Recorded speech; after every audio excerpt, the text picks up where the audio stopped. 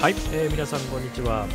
えー、今回はですね、えー、マイホームの、えサーキット2つ目ができましたので、えそちらのね走行の映像をお届けしたいと思います。はい、えということで今回ですね、まあ、いろいろないきさつがありまして、えマイホームさんの方で、えもともとドローンですとかあ飛ばすような場所だったあ場所をですね、えウレタンのサーキットを引いて、えー、第2個目のサーキットということでですね今遊ぶことができます。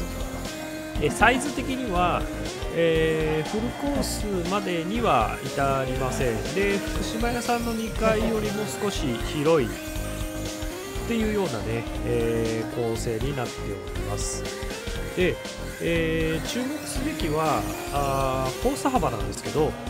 バックストレートそれからあバックストレート5のコーナーですね。まではあ3枚幅ですがそれ以外手前側に関しては全て2枚幅ということで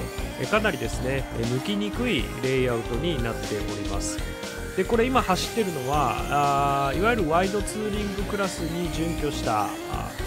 えー、セッティングのものでかなりねスピード域としては速いんですけれどもあのかなりね楽しくリズミカルに走ることができます。特にインフィールドの部分では、えー、かなりインをねしっかりと押さえておけばなかなか抜くことはできないので、えー、非常にねあの白熱したバトルが展開できるようなねサーキットじゃないかなというふうに思います。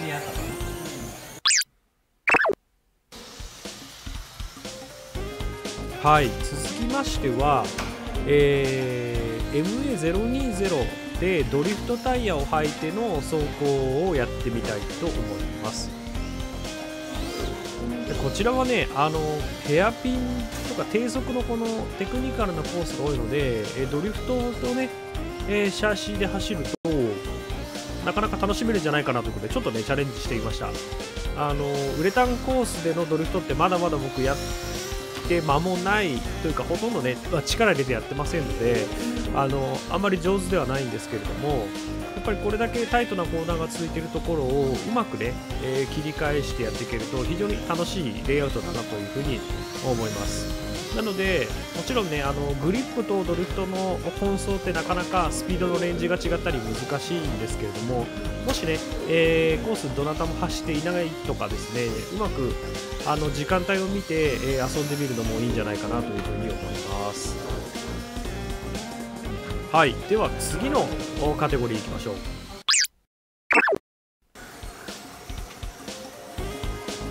続きましては、えーナローツーリングクラスの、まあ、速度域の車で3台でね、え、走ってみました、えー、今先頭走ってる、えー、黄色のポルシェこちらはあ私の、えー、ハイマウントの緑缶ピニオンが9枚の仕様で走っております。えー、そして、えー、白い車。こちらは、えー、ハイマウントの、え青缶で、え7枚になりますね。でそして、えオレンジ色のこちらもポルシェなんですがこちらも、え青缶の7枚なんですけれどもまずね、えインフィールドに関してはあの9枚の緑缶ってもともとトルクがあるので9枚であってもほとんどね、えー、7枚と遜色なく走れるっていうぐらい、まあ、緑缶かなりトルクがあるのであのインフィールドそんなに変わらないぐらいの速度で。ストレートもですね、あのー、緑缶頭打ちしちゃうのが速くて遅いんですけど9枚まで上げてると緑の7枚とね同じぐらいで走れるという状況になっていてほぼイコールコンディションで今3台で楽しめている状態になっています。え僕の感想としてやはりこれぐらいの速度域で、え走るのがね非常に接近したバトルが楽しめてあの楽しいんじゃないかなと思います。しかもですね、まあ、これぐらいのあのモーター種類だとあの電池の、ね、持ちもすごくいいのでこの日もですね3台でだいたい1時間ぐらいはあ電池1パック交換してぶっ続けでね走るぐらい、えー、楽しんでおりました。はい。かなりね盛り上がったんですよね。それでは次に行きましょう。で次は、えーまあ、僕ら3台しかいませんでしたので、え逆走してみました。でさらに、えー、目線が高かったりするとかなりね見渡せてある程度余力を持って走れてしまうので、えー、この回では画面の右側の奥の方でしかも座って地べたに座って、えー、走らせるということをやっていました。これ何が面白いかというとこのこのね、進み方でいくストレートエンドが2枚幅なんですよね。なのでスピードがの3枚幅でスピードが乗って、えー、最初のコーナーでいきなり2枚にぐっと狭くなる。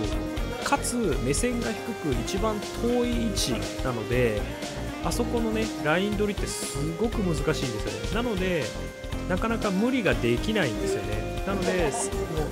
うさらに抜きどころがなくなるような、えー、走り方というかレイアウトだったり目線ポジションになるので、えー、もっとですねあの接近戦になります。結局インフィールダー抜きに来てストレートがイコールコンディションの速度域だとするとストレートエンドでねうまくこう抜きたいところですけどストレートエンドも狭いんですよ。あの我々こう走った中ではこの走り方がね一番楽しかった。これでねあのさっき、ね、1時間ぐらい走ったって言いましたけどこのね、えー、逆走の状態で3台ね約1時間ぐらいずっと走るというようなね、えー、遊び方をしました。はい。えということで、えー、岐阜県の、えー、マイホームさん、え、前回も動画を上げましたけど、えこちらでね、え2つ目のねサーキットが奥の方に設置されていますのでぜひね、えこちらで遊んでみてもいいかなと思います。で、え私まだね、えまあ、公開これが公開されている時には、えこのラップタイマーも設置されているというところなのでタイムもね測りながら遊べております。ということで今回の動画は以上になります。最後までご視聴ありがとうございました。